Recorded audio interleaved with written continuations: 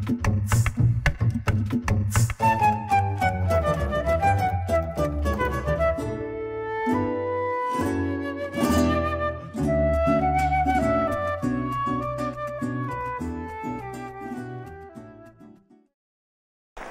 En el Centro Cultural Tulio Férez Cordero de la ciudad de Mérida se llevó a cabo el acto de graduación de 643 nuevos y nuevas profesionales de la Universidad Bolivariana de Venezuela y el programa de municipalización universitaria Misión Sucre, con la presencia de las autoridades universitarias nacionales y regionales, más la compañía de familiares y amigos de los graduandos.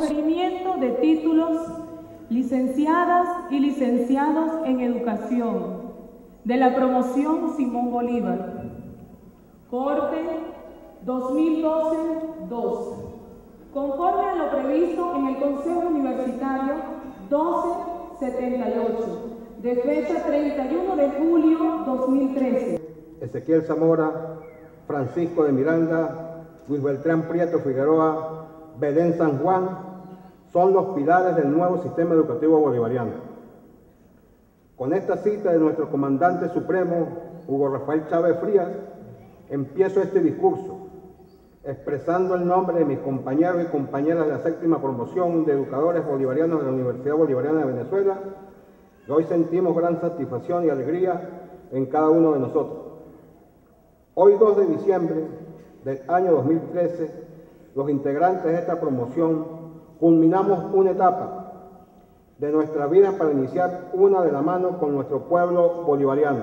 Este acto reafirmó la esencia humanista y libertaria de los nuevos profesionales de la patria, destacando los compromisos con el pueblo y las comunidades, así como con la continuación de la formación académica, la investigación y la producción de conocimiento para el desarrollo de la nación.